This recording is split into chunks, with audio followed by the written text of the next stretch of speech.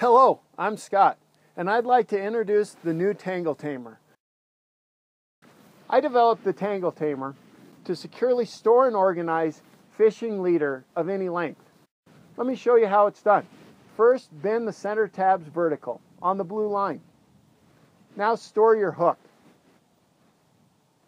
Let the line dangle and then bend the ends of the cards forward at a 45 degree angle.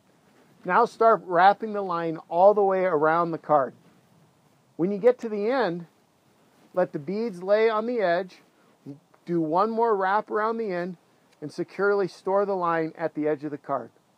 That's all there is to it. Now your leader is stored securely. You can put it in a tackle box or you can organize it in a three ring binder.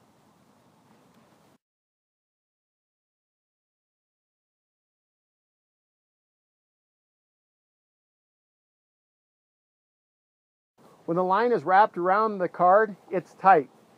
But once you fold the card flat, it relaxes the line and minimizes the kinks. To remove the line from the card, hold the end of the line with the beads and blades in your hand. Now drop the card. The card's connected to the hook, so you don't have to bend over and pick it up. Disconnect the hook, and you're ready to go fishing. If you have any questions, let me know. And I hope the next time you're out fishing, you're using the Tangle Tamer and you're catching the big one.